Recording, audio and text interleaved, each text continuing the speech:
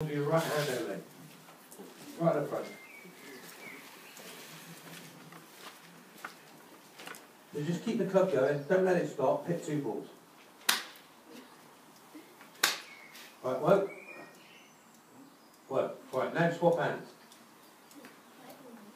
Your left hand, last three balls.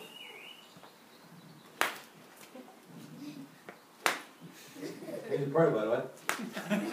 Right, how do you think? Hard, difficult, easy? Yeah, easier with the right than the left. Well, we can work that out. Obviously not married. Now then.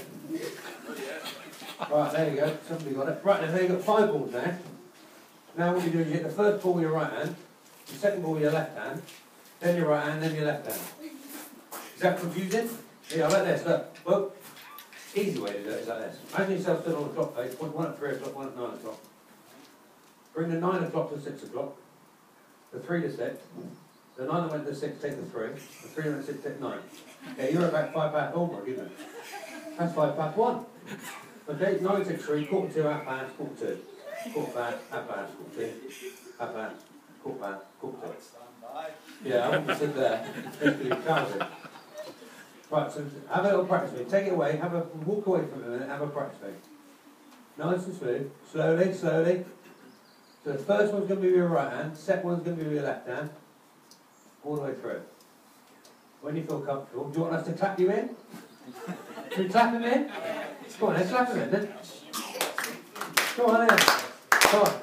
Three, two, one, go. Alright, I'm going to practice him first. Left hand. Where are you doing now? Left hand. Left hand. Start again. Right hand, left hand. Yeah, keep your head down. That's it, no, that's it. That's it, like that. Like that. Quarter two, up That's it, what is it, eh? Quarter two, up hand, quarter back. So the first one to the right hand. No. Couldn't go and get a seat, could you? Could be here a while. Right, right hand, look, quarter two, quarter past, half past. That's it. And then the first one with the right hand, second with the left, then the right, then the left. Come on. Well, yeah, it'll be raining again in ten minutes. Right, when you're ready, come on. Do you want clapping in again? No, clapping. Come on, keep going. Oh, no, he was nearly there. Three, two, one. Right hand, left hand, right hand. Yes? No? Which one we go with now? Give her a round of applause. Have a good day. You got yourself all over the place there, mate. You do back there? Here, I'll show you. Oh, one tee off there. One second.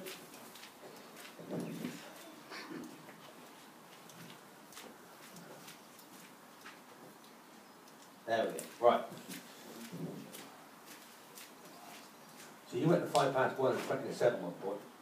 Just keep yourself to half past half past like that.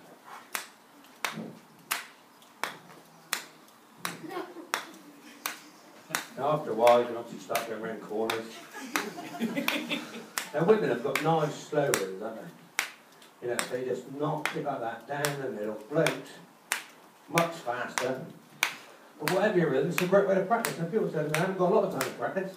Think how quick you 50 balls. Give him a round of applause, he did well, he did well.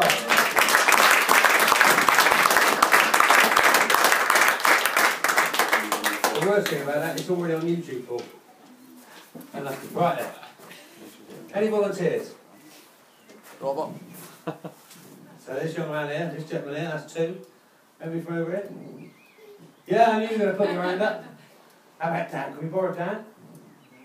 Yeah, that's then. Come on then. There you come. Come and stand up on this bit where it's a bit dry. Yeah, there's lovely trainers, nice and lovely there. Right. So come up here, it's a little bit dry. Right, there you go. What we're doing, we're going to do a high tee challenge. Oh, it's a bit wet there. Hang on. Let's come in. So all you need you to do is just hit that off of there, cut 100 yards. Yep. Have a practice swing first. That's it. Perfect. Look at that. On. Yo. That's a bit a gag, isn't it? Yeah, good, mate. That's a- that's a lot of work. Now you're. You got to do that. Got to get another ball now as well. I've done that before then. Maybe a packet it is. Was that practicing or a hit? Ah, right, I'm sure. Go on then. We hit it. Not bad, not bad. That would normally, that would have won it normally, apart from that who ripped it. Right, next gentleman.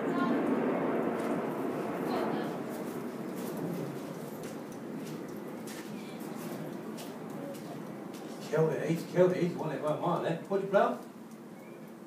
Five, so good player then. What are you laughing at? Is he not a good player? Is he not a good player? No, it's just something that's extremely bad. Like that! That's one of the netters there then, obviously. Pretty good. Anybody else want to have a little go? Anybody else? Ah, Paul, yeah, you'll be good back here. Come on. Can't go wrong with the amateurs, you're all hitting it. Yeah. Oh, there we go. That's three amateurs that hit it. Have a practice swing first. If you don't watch the Oh, perfect. Watch this one go. 250 with a bit of draw. Look. Spot on. Give her a round of applause. Get in. You know what we're doing now, don't? That's where you can go wrong. Hey, yeah, you want to see a little bit of it. now, I have to tell you, I do loads of shows, and normally the winner's about an inch. So to get four people actually hit the ball was quite impressive. That was a great shot, of yours. Obviously, that wasn't bad at all either, really. And even yours, yours would have won normally, so it sort of kind of ruined the next bit of the game. But that's fine. People always miss it. I always say, it's one of the best things to do is start with, start with easy, start with it nice and shallow, and everything's easier with just one hand, isn't it? So just start with one hand, and then from there. And obviously, what you notice here, there's a lack of distance. You know, they're only getting up there. Couple hundred yards if you're lucky, they don't go anywhere, do they? But that's what happens if you swing one hand, because that's obviously a controlling hand. But if you've got yeah, two hands on it, then obviously you can get a little bit of a difference, you can get a bit more power behind it. Obviously, you'll notice something else as well. Spot anything? Spot anything? Yep. Anything different? We're going higher. Eh? We're going higher. Well, of course you are, tear them up like that. You're right, there they are. Here's the look, they are going on. You tie your tear them up like that. How high they go? Bang the bin it. And obviously, if you get up there, it's just going to be ridiculous, isn't it? But you can also flight it low. How do you flight the ball lower then? If you're playing golf in a windy conditions, hmm? Tee it down? Hands up if you tee it down. Five handicap, would you tee it down? Back in your stand. What do you play? Sit back in the stance, tee it down. I disagree with all that. Monday ball's all about hitting it up there, Monday club. Tee it up. You ever tried it this high? Much better for it lower. You tee it up about waist height. Find the ball generally goes out a little bit lower. See, that'd be piercing in the wind, like, that'd be lovely, wouldn't it? Can you imagine that just rolling up the fairway, just running down there? Lovely, here she goes. So why would you tee it down? It up. Give her a round of applause, yeah, go away, that's.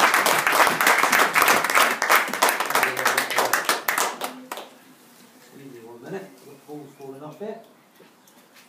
Now, obviously, we've got, um, is it next? What are you here now? Tuesday. Tuesday. Tuesday, you've got a chance to come and try. Here, I guess it's here, isn't it? Not the club, yeah, here. You get a chance to try all this equipment. Now, Yonex is a, a brand that people tend to not always go and have a little look at because it's, you know, you get used to the Callaways, the TaylorMades, the Tucks and all that. But this is fantastic equipment. I've used it for 20 odd years, never been paid a penny by them to use it, which is a bad idea really. I should have got agent, I think. But I do their shows for them in lieu of them giving me equipment. And I use it because it's just the, the, the standard of graphite is fantastic. For ladies and seniors, there is nothing better. So if you are looking at clubs or just fancy having a little try with them, make sure you come along and give them a little go. Because what they do do is produce great graphite. Great graphite and great golf clubs. Now, I've also lost another club now.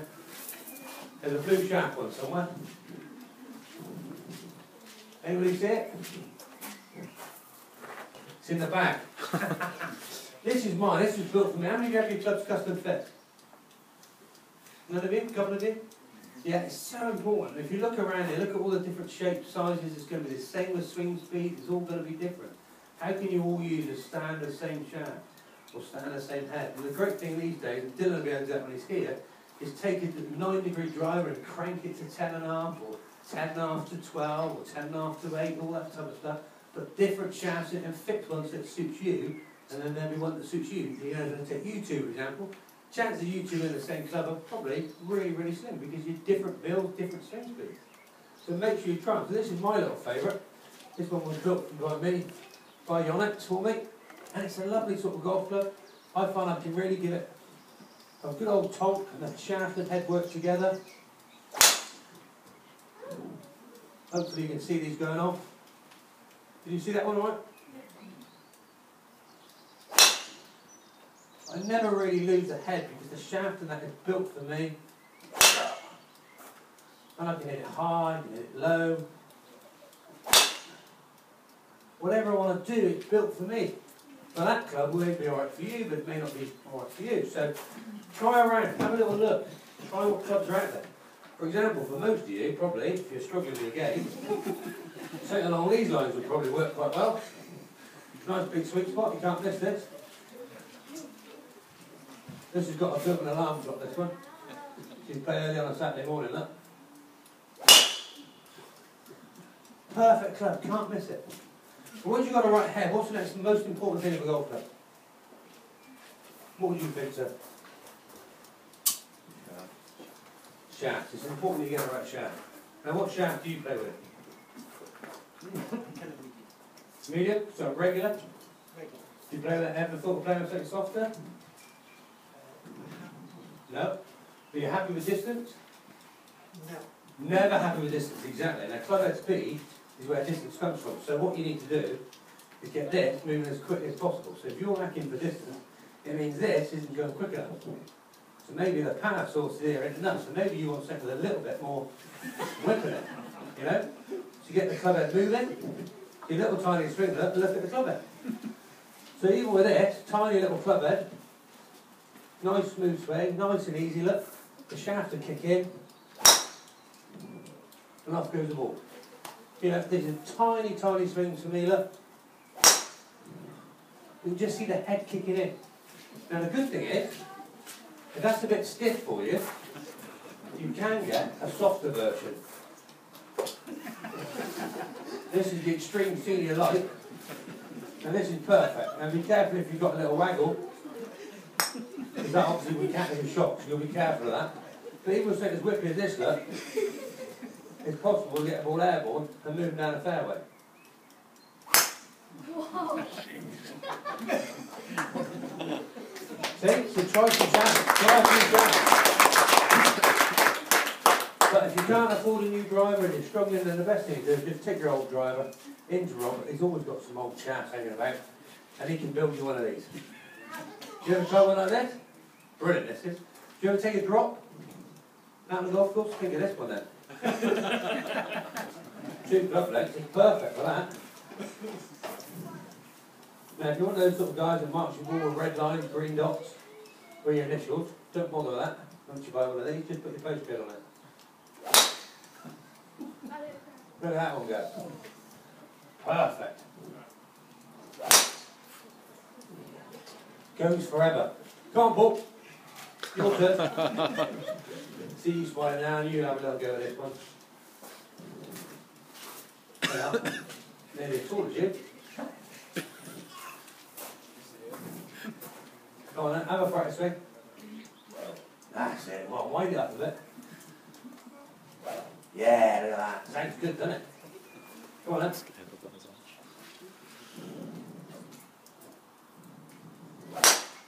Look at that. Perfect. Good stuff. You're Yeah, you want trouble, It's a long Any one, look at that. left-handers here? Any lefties? You're not left-handed, sorry. Now that could be why you're struggling for distance. Why do you play left-handed?